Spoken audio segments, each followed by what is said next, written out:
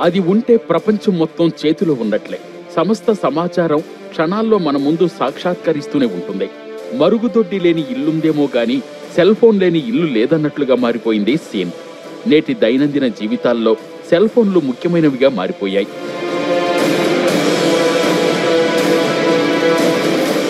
ప్రజల జీవితాల్లో ఎంతగా పెనవేసుకుపోయాయో జనాల ప్రాణాలతో అంతే చెలగాటమాడుతున్నాయి సెల్ ఫోన్లు.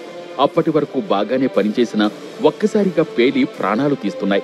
మొహమంతా గాయాలు తెగిపడుతున్న వేళ్ళు గుండెల మీద బాంబు దాడి చేసినట్లు పేలుడుకు యూజర్లు తీవ్ర గాయాల పాలవుతున్న ఘటనలు నిత్యం ఏదో ఒక ప్రాంతంలో జరుగుతూనే ఉన్నాయి.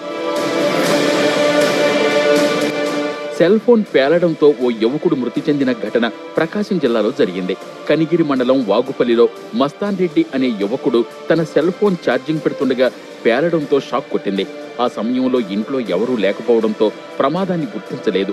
దీంతో మస్తాన్ మృతి చెందాడు. బాధితుడి చేతిలోని ఫోన్ గుర్తుపట్టలేనంతగా కాలిపోయింది.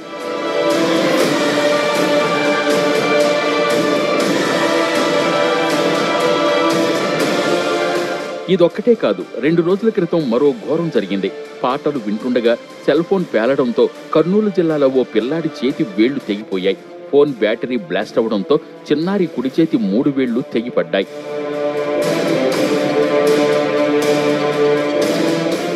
రెండు నెలల క్రితం ఓ బీటెక్ స్టూడెంట్ కూడా సెల్ ఫోన్ కారణంగానే చనిపోయాడు. ఛార్జింగ్ పెట్టిన సెల్ ఫోన్తో మాట్లాడుతుండగా ఫోన్ బాగా వేడెక్కి అతనికి షార్ట్ సర్క్యూట్ అయ్యింది.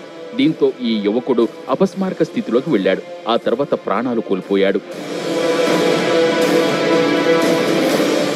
ఇలా ఎక్కడో ఓ చోట సెల్ ఫోన్ పేలడం చాలా కామన్ అయ్యింది. కానీ అవి వాడేటప్పుడు జాగ్రత్తలు తీసుకోకుంటేనే సమస్య వస్తోంది. బ్రాండెడ్ సెల్ ఫోన్లతో ఎక్కువసేపు మాట్లాడినా ఇబ్బంది ఏమీ ఉండదు. బ్రాండెడ్ ఛార్జర్ వాడినా పెద్దగా సమస్య ఉండదు కానీ అన్బ్రాండెడ్ మొబైల్తో రెండు నిమిషాలు మాట్లాడినా ఛార్జర్ వాడుతున్న తస్మాత్ జాగ్రత్త. మీకు ఈ వీడియో నచ్చితే ఒక లైక్ కొట్టండి లేకపోతే కామెంట్ చేయండి. బట్ సబ్స్క్రైబ్ చేయడం మర్చిపోకండి.